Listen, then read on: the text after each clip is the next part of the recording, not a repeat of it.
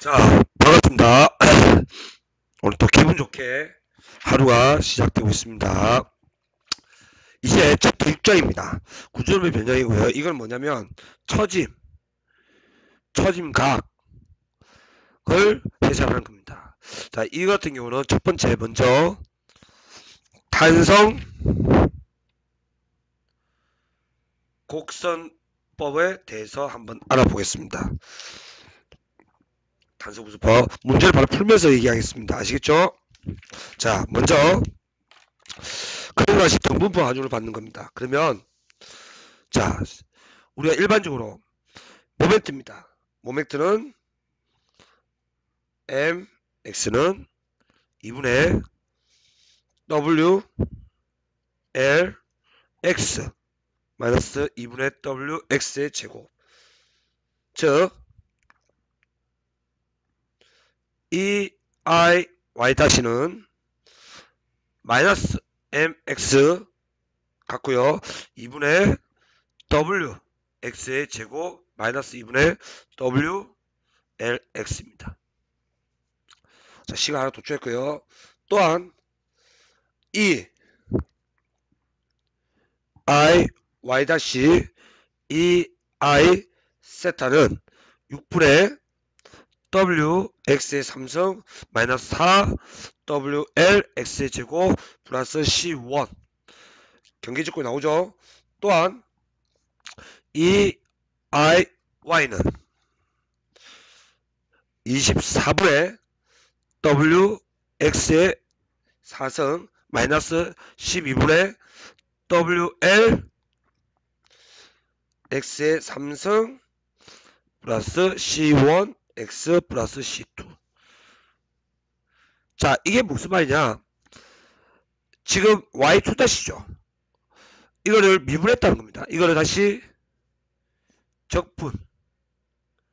또 적분을 한 겁니다. 자 경계 조건입니다.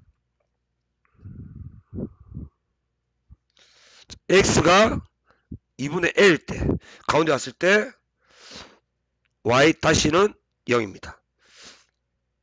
x가 이걸 사율하면 따라서 c1은 24분의 wl 3승이 나오고요. x가 0일 때 y도 0이죠. 이다 넣으면 따라서 c2는 제로가 됩니다. 이제 따라서 처짐 각입니다. 따라서 y 다시는 x가 0이죠. 이거는 세타 a 처진 각이죠. 2 i분의 1 6분의 w x의 3성 마이너스 4분의 wl x의 제곱 플러스 24분의 wl 3성 이게 x가 0일 때 따라서 이 식은 24 2i분의 wl 3승 즉 시계의 방향입니다. 지금 하고 있는 게 처짐 각을 얘기를 합니다. 이거를 y 이 식을 이 식을 적분했을 때 y는 x가 2분의 l일 때 c죠. 2i분의 1 24분의 w x의 4성 마이너스 12분의 wl x의 3성 플러스 24분의 wl 3성 x x가 2분의 L 때는 384 2i분의 5wl 4성 이게 처짐이 되는 겁니다. 자 여러 가지가 있습니다. 이게 하지만 이 탄성 곡선 경계 조건입니다. 즉 처진 각은 강조하겠습니다. 따라서 처진 각은 먼저 힘 모멘트 일반식을 산정을 하죠. 그리고 세타는 dx dy는 마이너스 2i분의 m dx 플러스 c1 이걸 얘기하는 거예요. 두 번째 처짐은 y는 마이너스 2차 두 번 2i분의 m dx dx 플러스 c1 x 플러스 c2는 뭐예요? 이거죠. 이걸 1차 적분이라고요.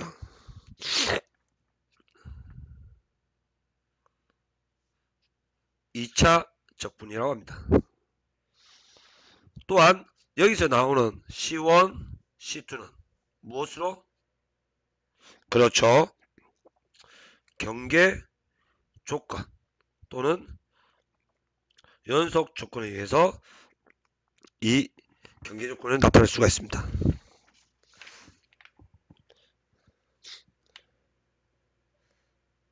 이해했나요?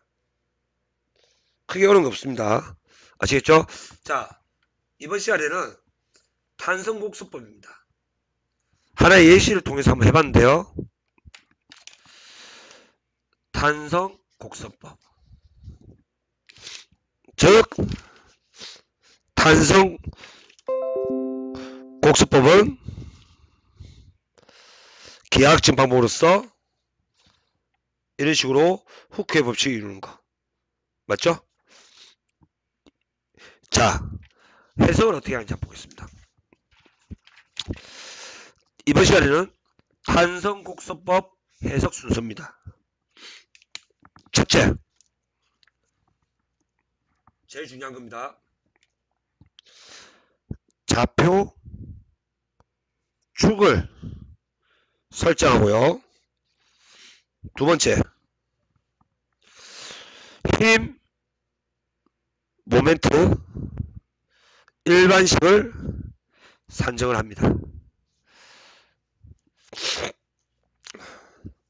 이걸 통해서 구간별 힘, 모멘트 산정을 하고요. 자, 세 번째 처짐, 각 또는 처짐 방정식입니다. 자, 이거는 미분 방정식을 적용하고요. 자, 구간별로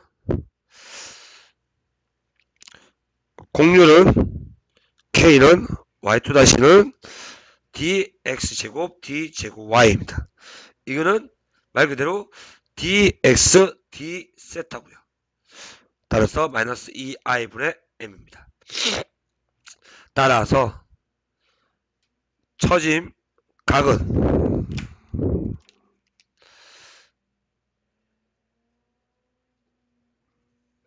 세타는 dx dy 마이너스 2i분의 m dx 플러스 c1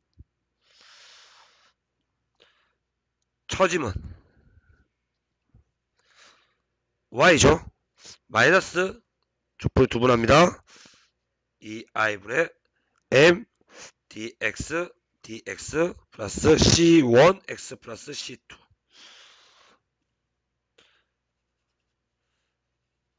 즉 이 말은 이 말은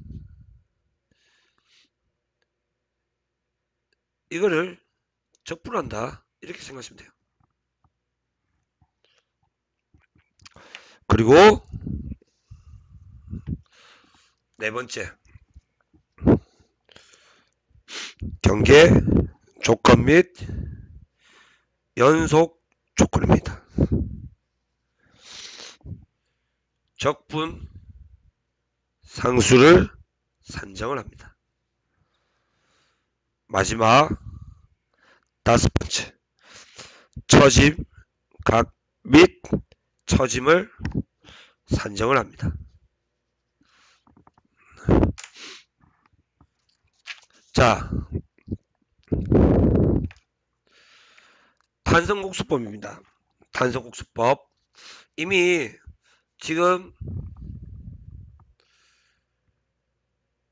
응용역학 강의에서 탄성 곡선법에 대해서 충분히 강의를 했습니다.